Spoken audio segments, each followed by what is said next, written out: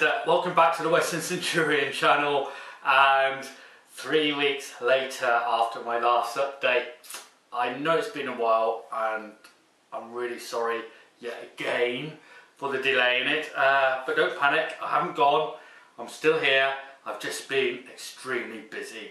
Um, life has got in the way as usual um, the last two weeks I spent at work with audits um, having to get ready for our ISO 9001-2008 audit or recertification audit which was last week and got through that with flying colours. Well chuffed. Um, took a week's worth of preparation beforehand but we did it. Now all I've got to do is uh, get ready for the transition between ISO 9001 2008 up to ISO 9001 in 2015. Oh the joy! God, can I wait? What a mind freeze that is. Not my favourite job audits, but um, it's part of my job, so I've got to do it. So I've got to make the most of it and enjoy it as much as I can, if you can enjoy doing internal audits. But um, anyway, yeah, that's that's one of my excuses for it being um, a big delay since my last update. Um, my other excuse is, is the fact that limited time here in the garage to do actually do anything. Um, so I've had about, or maybe two, four hours a, a, week really. That's that's all I've had, not much at all. Um, so I prefer to spend that time working in the garage than making update videos because if I did do a video um, there wouldn't be much to show anyway.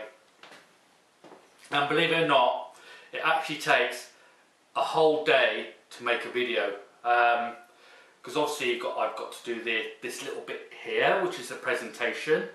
Um, and believe me, it's not just one take. I, in fact, this is the fifth take at the moment for this video.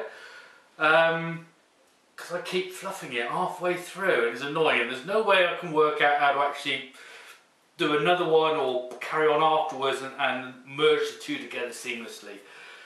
I mean, I'm a little, a little bit perfectionist sometimes and, and, I like to make sure it's right.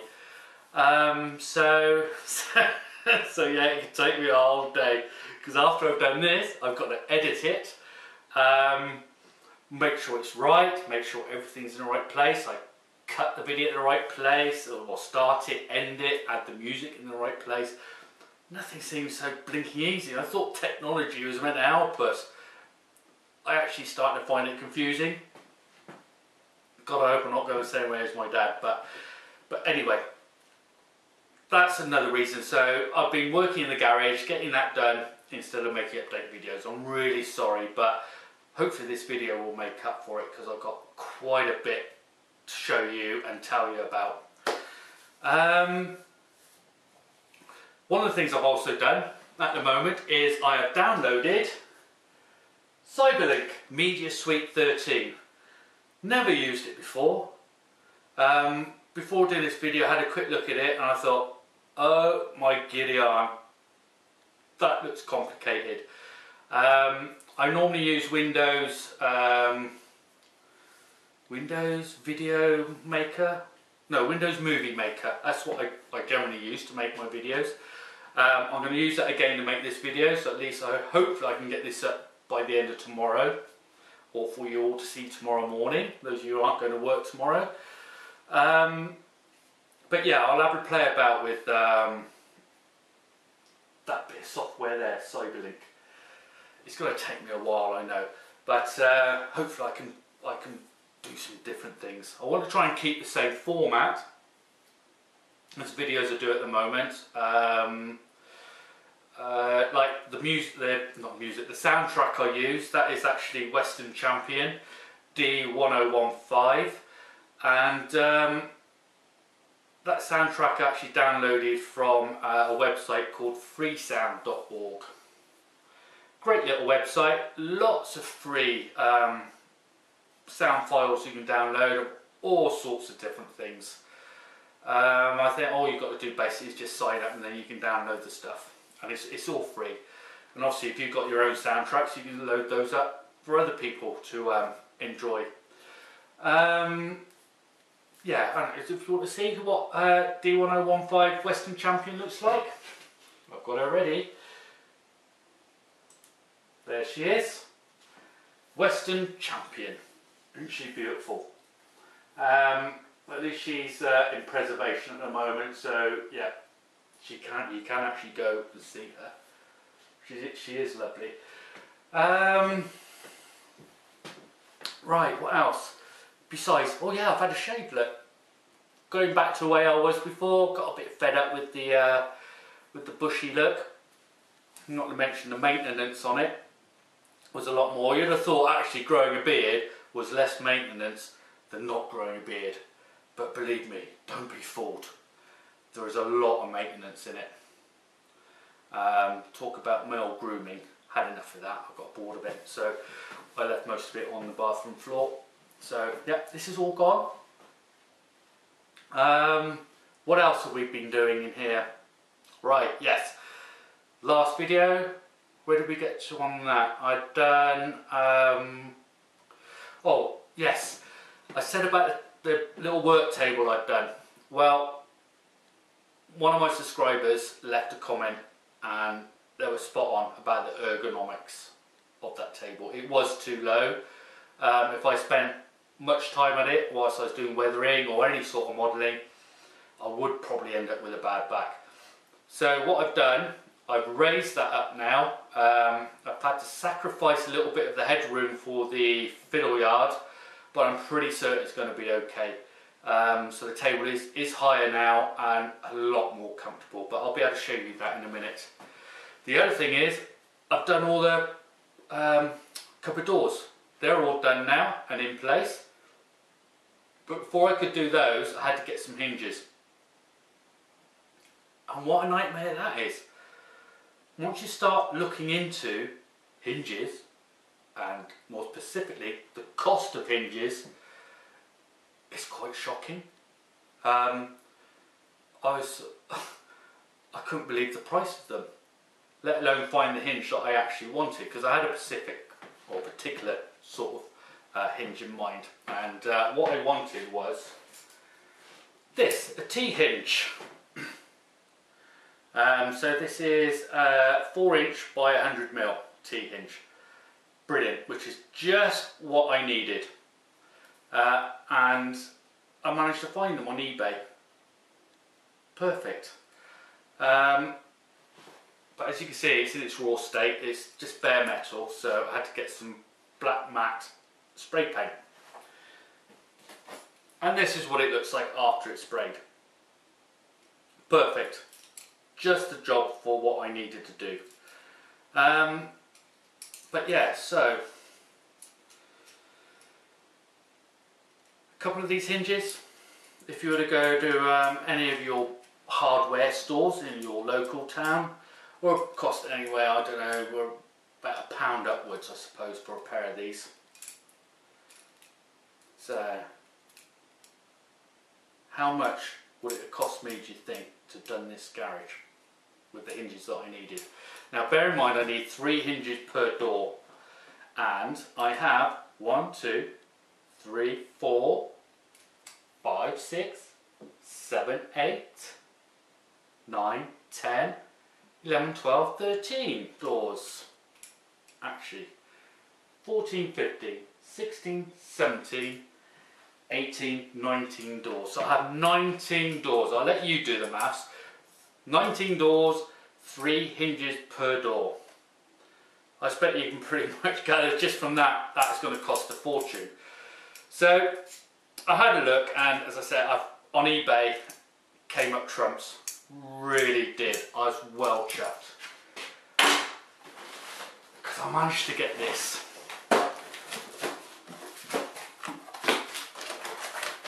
200 hinges, or 100 pairs shall we say, but, but individually that's 200 hinges.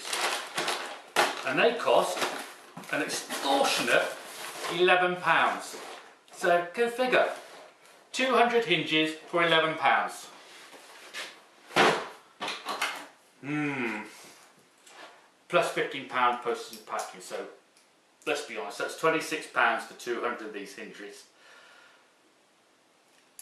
Can't go wrong, can you really? What a bargain. And I'm not going to use all 200 hinges, not at all. I can't think of anything I can actually use 200 for.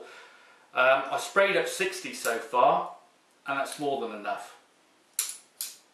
So the rest of the hinges, I will probably spray up and sell on eBay myself. I don't know, maybe 50p a pair or 75p a pair, free postage and packing of course and uh, whatever I make out of those will go towards the railway. Absolutely fabulous. Um, if you're interested and you, you think these hinges are just for you as well to play about with? Or for anything that you wish to do in your shed, your garage, your attic or even your house? Um, then there's still some left on eBay. Okay? And they are here. Now that's the hinges. They're being sold by IPH Monkeys alright or his eBay shop is called Hinge Monkeys so that's the hinges £11 at £15 postage and packing but if you look down here I don't think you can actually see it exactly the same hinges, 4 inch by 100 mil T hinges. Now they are painted and they're going for £1.49 a pair. Holy Moses! 75p a pair, I think is a bargain. Roll up, roll up. so yeah, I'll probably paint the rest up and sell them on eBay and whatever I make will go towards our layout. Right, um, so that's the cupboard doors and hinges done, which I'll show you again in a minute. But there is something else which is really exciting, okay? Mega exciting. Because yesterday I went to my local um, hobby shop, or model railway shop actually, so would say, uh, Spot on Models in Swindon, and um, I purchased the very first piece of track for the layout. And here it is, Peco code 75. So yeah, it is fine scale. This is preferred track that I'd like to go uh, go with for the layout. But before I can actually commit to actually buying a shed load of track, I've got to make sure majority of my locos work on it. So I brought this as a sampler at £3.75. Ouch. And um, I'll try some of the lo older locos on. Obviously I know the new locos will be absolutely fine, but the older locos I want to make sure they can uh, run on this without too many issues. Um, the gentleman in the shop was absolutely fantastic, he really was. He recommended that um, try it with some uh, code 75 points as well um, and he's more than happy to lend me a set of points to try. So I'll probably go back next weekend, have a chat with him again and uh, get a set of points and another piece of track and some fish plates obviously to join it all together and I'll start doing some trials with the older locos, uh, particularly some of the ones I got from Phil's list if you remember. Like the um, those two rail cars. Let's see if they run over it. Okay. Um, and if they do, um, or at least if 75% of the locos run on this perfectly with the Code 75 points, then this is what we'll be going with for the whole layout, including the fiddle yard. Um, not cheap, I know, uh, but I had a look at, oh well I didn't have a look at I emailed Rails of Sheffield um, they won't reduce the price of what's on their website for this. I think it was about £64 for uh, 25 yards. But that still works out £10 cheaper than E. Hatton's. Um, so I'll either go with them or if uh, when I go back to Spot on Models I'll ask them what their best prices they can do. Um, if they can match it then yeah I'll be more than, I'll, I'll be well chuffed. I prefer to buy from my local model shop than actually from the internet. But it all comes down to price at the end of the day, doesn't it? So yeah, our first bit of track for the layout. Excellent. Ah.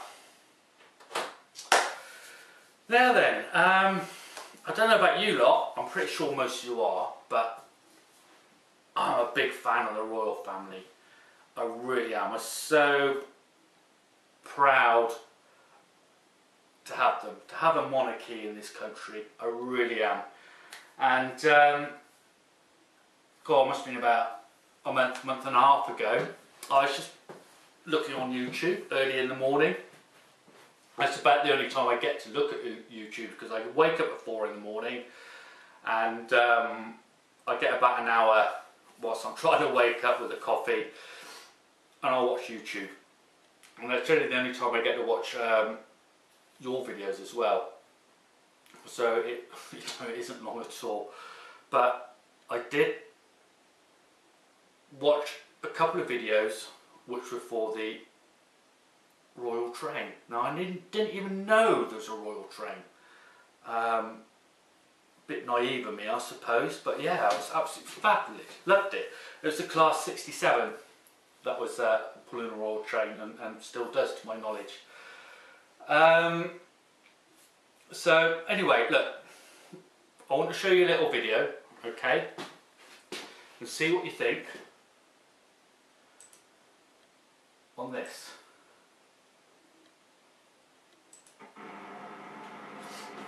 So here's the real Royal Train, Royal Royal Train class 67. Okay, 005, which is the Queen's Messenger.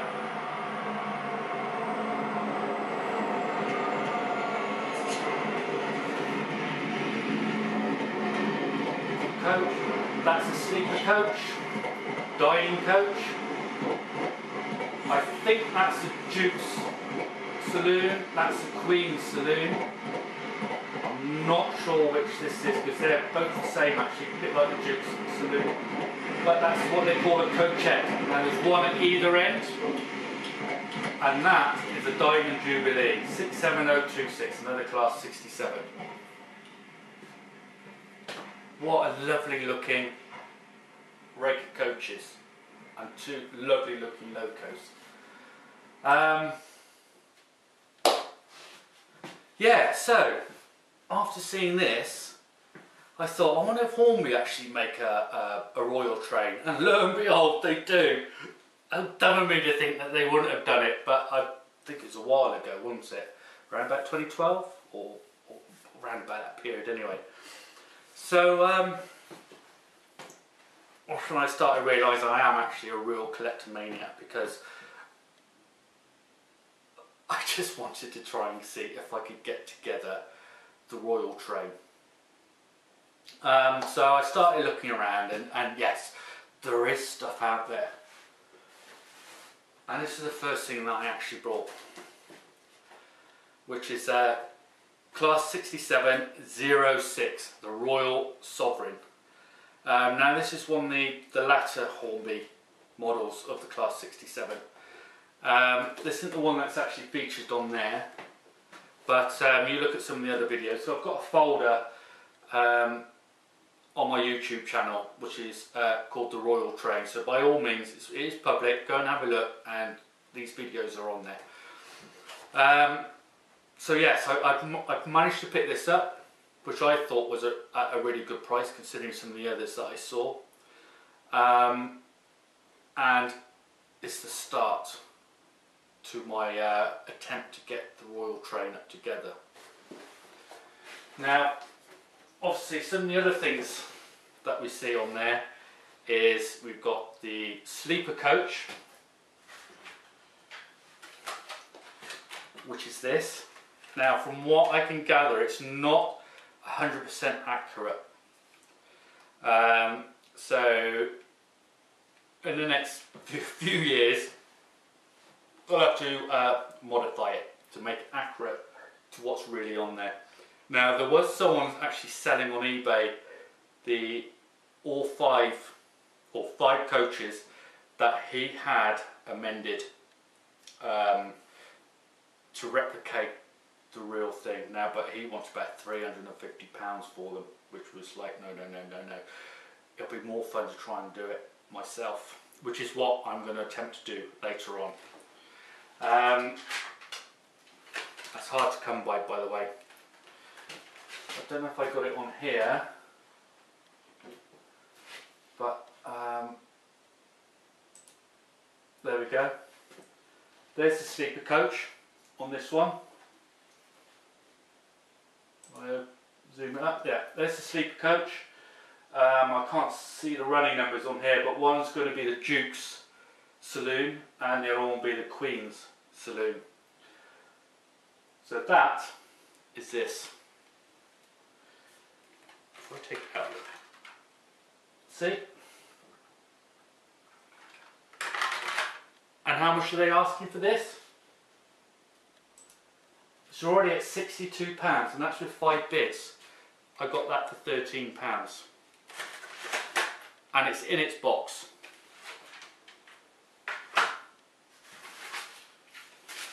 The other is a dining car. Now again, this isn't true to the real dining car or the royal dining car. Um, so this will need some modernising as well. I think I've got to block out one of these windows altogether. So that will be a project which I am actually really looking forward to doing at a later date. Um, now, in here, this is I've got the the Queen's um, saloon and the Duke's saloon, and again I've got a Queen's saloon and a Duke's saloon. So that is two Queen's saloons and two Duke's saloons I have. Why have I got so many? Well, one set I'm going to keep as it is. The other set I need to change because the Queen's saloon has double doors and the Hornby ones you get only have a single door. So I've got them to play around with and um, see how I get on with them. Now, the other uh, two coaches on there, let's see if I can bring this up.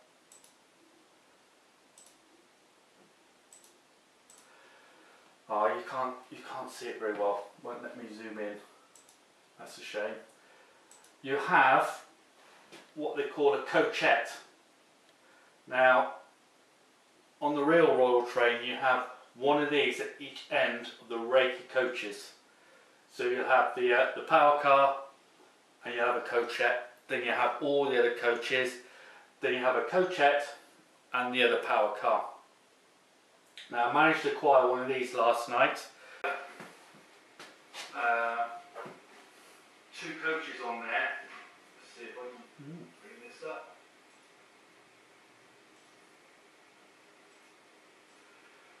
Oh, you can't, you can't see it very well. Let me zoom in.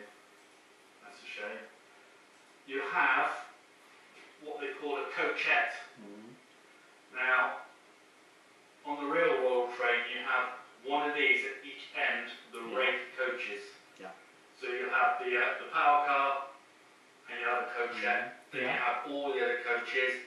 Then you have a coachette and the other power Mhm. car. Now I managed to acquire one of these last night. Yeah. Now don't you just hate it when that happens? When your pesky camera cuts out five minutes towards the end of your video. Oh! Oh! Well, yeah. That's what's happened. My camera has cut out five minutes towards the end of the video. And I've just done this just to try and finish it off. So this is um, uh, take six, I suppose, which I'm going to have to splice in at the end of the first bit that cut out, which is this one here, and in between the other video I took of the garage, which that was pretty much a failure as well because I had to cut that really short because the battery was going flat. And um, and oh nightmare because to be honest, if you can follow this, this is take two of the sixth take because I did this, but then I think one of the batteries I use in the camera is what's causing the focus to go in and out. And the whole thing was the focus, and it was just in, out, in, out. It's infuriating. But anyway, shut up me and um, get to where I wanted to get to because I thought I lost track. but yes, just, just quickly, the short continuation from that is the fact that um, obviously the, the Queen's or the Royal Train has two locos. Now, neither of the ones we've seen in that video, I, I, I don't have neither of those locos. Um, the uh, 6705 Queen's Messenger, I'll be looking for that in the near future. Um, they're going around about 50 to 70 pounds on eBay, but I need to save up for that first. Um, the oh, what was the other one? Yeah, the 6706 I do have, so that's all right. That's one I showed you earlier. But then we have the Royal Diamond, um, which is the use management train, 67029. Now I did manage to actually get that here in the train pack. And there she is, absolutely beautiful. And I love that logo on the side. Now, in the um, the Royal Train folder that I've got on my YouTube channel, you can you can one of those actually shows this pulling the Royal Train, but I think that is also with 6705 um, on the other end. Uh, obviously, you get the addition of the two coaches to go with it. Got this for an exceptionally good price. Um, it, it came up and I think I must have found it within within a couple of hours actually being released on eBay. Um, and it was a buy now, so I went for it and I got it. So when the layout's up and running, I will be running a Royal Train and it will also have this. Um, I'd love to have the Diamond Jubilee, which was a limited edition made by Hornby. Uh, but that's extremely expensive. So what I'll probably do is it's silver like this, um, but I think from here you've got like the Union Jack flag tapering down. There's a little symbol in the middle, I'm not sure what it is. Um, but I will, I will buy a uh, Class 67 and as a project I'll spray it up and see about getting the transfers. If I can't buy the transfers for it, I'll see if someone is able to make them for me. Plenty of websites who do transfers, so that should be an interesting project in the, in the future. Okay, so that's it. I'm going to have to love you and leave you, I'm afraid, because this is taking absolutely ages. It is now quarter past two. I've actually been down in the garage since six o'clock this morning, and I need to get this this last section of video on the computer, get the editing done, and get it uploading. All right, then I've got to go and spend some time with Debbie because she's been up there all morning early part of the afternoon alone and I think I'm really, really pushing it. So anyway, all of you at work tomorrow, good luck. I hope it all goes well for you. All of you travelling, travel safe. And all of you who are not working, have a fabulous week. All right, I hope we get an update next week. If I don't, hopefully the week weekend after. Okay, so catch you all later and bye. Heidi hi and welcome back. Wow, there we are. This is what I've been up to. And you can see the cupboard doors with those fabulous hinges on, or shall we say fabulously cheap hinges on, which I think absolutely look great. And uh, this is where I sprayed them all up, all 30 pairs in one go. Did a good job, I think. So yeah, here we are, look closer look at the cupboard doors and hinges. Um, I think I need to uh, slightly readjust some of them so they're actually the same height. Um, but I'll do that later. They do open and close and click into place. Oh, down here in this corner. Now what's that corner cupboard going to be for? Hmm, let's have a think what would actually fit in there, shall we? Well, at the moment, I have my little toolbox. But that's not staying in there because I think that is the most perfect place for the beer fridge. Oh yes, ladies and gentlemen, this garage will have a beer fridge. Or for the younger ones of us, a Coke fridge, or lemonade fridge, or any sort of pop fridge. But there'll also be room for the odd one or six cans of beer. Oh. No man's garage can't do without a beer fridge. Or fridge of anything to keep stuff in. Um, that's right, because I hadn't done all this before, had I? So I've now got another shelf in there to keep all the things on. These two doors aren't the best at the moment. I've got to redo those as well. I've got the, uh, I've been busy doing some, stripping some um, cabling down to get the wires out. But the only problem is, I've still got to drill the holes in here for the bus wires. I've done the um, the joists underneath the fiddle yard base, just got to do them in here. And as I'll show you now, I've actually done them here. So yeah, I've now got the bus wire running through. Complete underneath here. So that's all in place. Put some terminals on the end ready to connect up at a later date.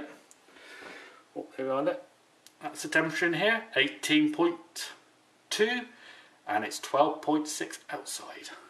Beautifully warm in here. Good old insulation. Um, oh yeah, I, I, had the keyboard down here, didn't I? Just there. I've taken that out because that was too low as well and um, it just wasn't going to work. So I've now decided that in this area, that's where I'll keep all my modelling stuff. And under here, that's where all the computer stuff will be kept, plus some modelling stuff which I don't use so often. And the uh, stools will sit under there quite nicely. And that's the table as you'll see is uh, a lot better than it was because you think at one side last time it was this height. So yeah that's that's a good a good foot taller now I think. Yeah yeah about, about a foot taller. And it's a lot more comfortable to sit sit at and um, and to do some work. So yeah thank you very much for that tip or advice um, about the ergonomics. You were so right. Um, I'm thinking that I'm going to have to put some form of um, power sockets on here. Probably just be an extension lead with, with two or three uh, sockets on so that I can have a, um, a magnifying lamp attached to the side here that will plug into it and obviously the soldering iron because that's not going to reach right underneath. So I'll get that done in the next few weeks as well. Um, oh, I tried to sell the that window on eBay. £45 I tried to sell it for, no one wanted it. God, what a disappointment. Um, so I'll put it back up on there, I think, at 99p and uh, see if I get anyone. Anyone wants to buy it. Um, my two old lawnmowers, they've gone, my push lawn lawnmowers. That really hurt, but I managed to sell those. Um, two very happy customers as well, so that that was good. Um, particularly my old, the old old one, which I think was 1940s lawnmower. Uh, that went to uh, someone who was over the moon to have it, who's actually a collector as well. So he's going to um, redo it and send me the photographs. So when that happens, I'll let, let you see as well. Okay, I've got to go. Uh, battery's just about to run out, so see you again soon. Au revoir. Bye.